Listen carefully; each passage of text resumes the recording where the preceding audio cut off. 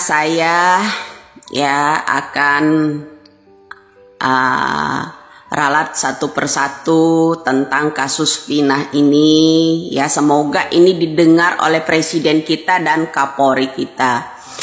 Jadi uh, pertama tuh kuncinya uh, orang yang dari mantan caleg PKS ya kalau nggak salah itu pokoknya dari PKS itu asal mulanya.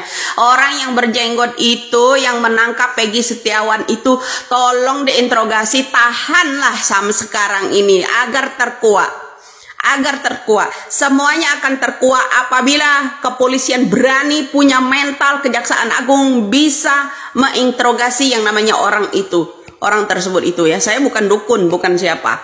Ya.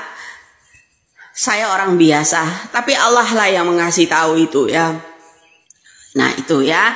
Jadi saya harap Indonesia ya uh, tolong uploadlah kembali foto seorang yang menangkap kuli bangunan yang berjenggot itu. Itulah salah satu ini. Tapi dia akan takut ya.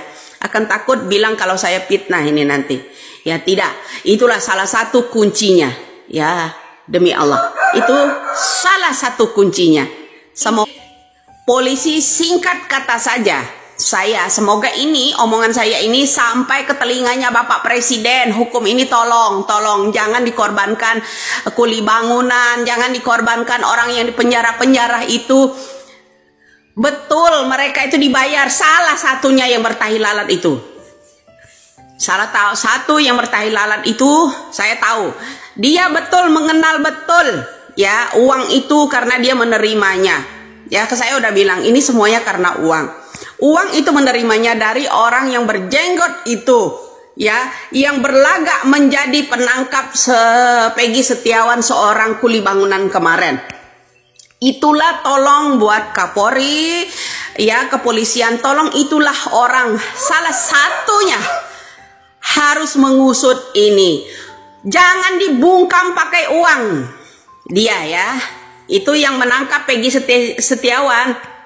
Orang ini, nih, coba saya nanti ya, uh, saya screenshot ini uh, yang namanya fotonya ya. Coba bisa kita tempelkan enggak di sini ya. Nah, itulah salah satu orangnya kunci utamanya agar hukum ini bisa tertegak luas. Ya, jangan memfitnah yang lainnya geng-geng motor itu sebagai Peggy Setiawan dan uh, anak-anak uh, dari uh, mantan uh, siapa namanya itu bupati itu ya. Berapa